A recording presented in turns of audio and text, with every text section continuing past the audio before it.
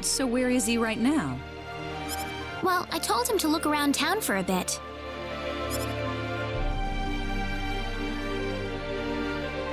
Wait a minute, Rena.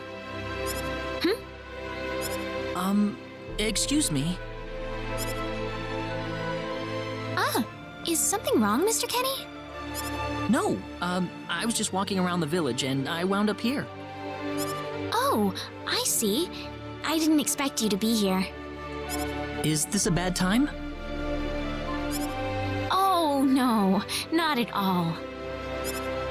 Mom, this is Mr. Kenny. He's the one who saved me earlier. Oh, oh my. So he's the one you told me about? Well, hello there, Mr. Kenny. I'm Rena's mother. Just call me Westa. Rena said that you saved her from a dangerous situation earlier. Oh, I, uh, it wasn't anything special at all. But of course it is. It would have been a disaster if you hadn't shown up when you did.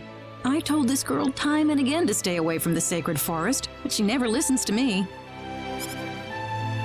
Oh, Mom.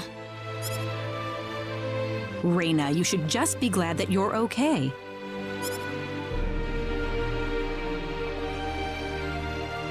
Anyways, Mr. Kenny, I'm sorry I kept you waiting. I'm done here, so how about I show you around the village? Ah, yes, please. Thank you. All right, see you later, Mom.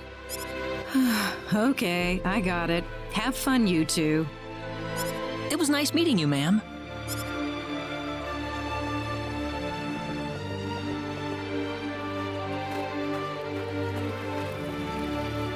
I'm sorry about my mother. She can be annoying sometimes. It doesn't bother me. My parents are kind of the same way. Oh, really? Yeah, like you wouldn't believe. You'd be amazed.